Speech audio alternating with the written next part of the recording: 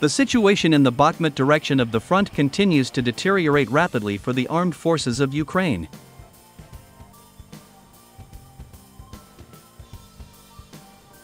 In particular, after the capture of the village of Krasnoy, Russian troops significantly intensified offensive operations in the eastern part of the Chasiv Yar. Moreover, war correspondents and numerous Western analytical centers have recognized the fact that the Russian army is already fighting on the eastern outskirts of this city. At the moment, everything that is happening on the battlefield indicates that the Chasiv Yar is turning into the main place of fighting in the zone of a special military operation.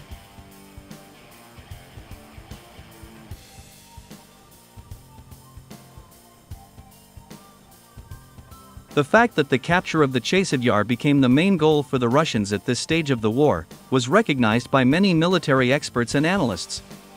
Now, all the attention of military experts and war correspondents is on Chasiv Yar. Moreover, the commander of the 26th Artillery Brigade of the Armed Forces of Ukraine, Oleg Kalashnikov, answering journalists' questions, did not hide his emotions, describing the seriousness of the situation near Chasiv Yar. In particular, he said that Russian troops were storming all settlements in the direction of the Chasiv Yar, including the positions of the armed forces of Ukraine in the area of Kleshtievka and Andriivka.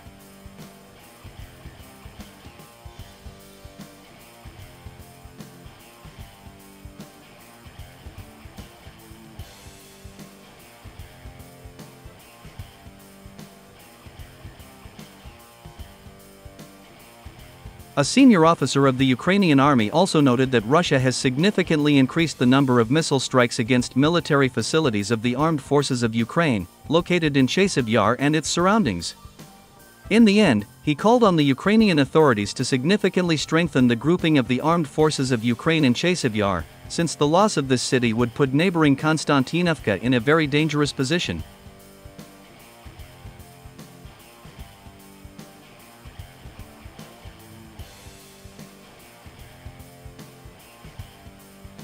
By the way, the day after this interview with the Ukrainian senior officer, the Russian army, with the help of Iskander ballistic missiles, launched a pinpoint strike on military facilities of the armed forces of Ukraine in the area of Chasiv Yar. Moreover, information was also confirmed that Russian ballistic missiles hit a six story underground command post of the Ukrainian army. As it turned out, an hour before the Russian missile strike, high ranking NATO officers arrived there. They were representatives of the Polish and US armies.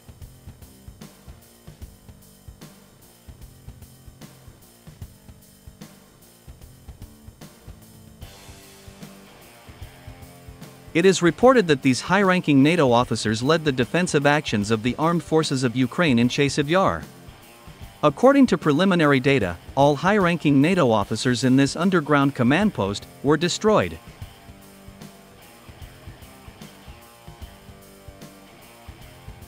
Moreover, some Ukrainian, Russian, and Polish telegram channels linked the recent sudden death of Polish General Adam Marczak precisely to the Russian missile strike on the underground command post in the area of Chasiv Yar.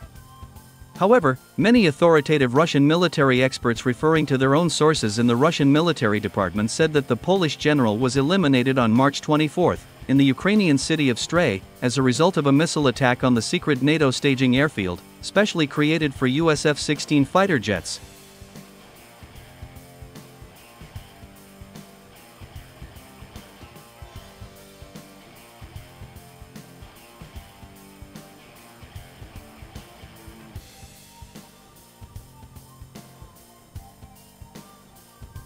Let me remind you that back then, as a result of a missile strike by Kinzhal hypersonic missiles, this airfield was completely destroyed along with 15 high ranking NATO officers. They were mostly Polish officers. And in my opinion, Russian experts are right in their conclusions, since there has been detected high activity of the Polish military on the border of western Ukraine in the past few days.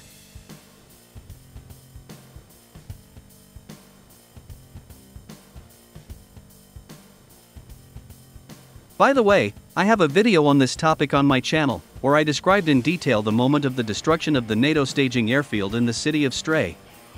Those of you who have not seen this video yet, be sure to watch it. The link to this video will be pinned in the comments section. Returning to the topic of the death of the Polish general, it is worth noting that the Polish Ministry of Defense continues to claim that General Adam Marczak died unexpectedly of natural causes. However, despite this, his body has not yet been released to his relatives.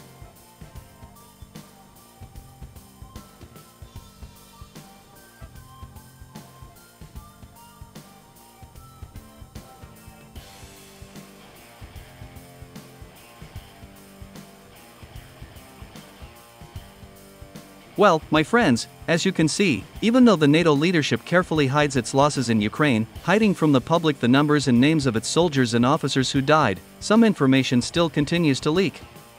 According to preliminary data, during the entire war, unlike other NATO countries, the United States, Poland, and France lost in Ukraine the largest number of their active high ranking officers.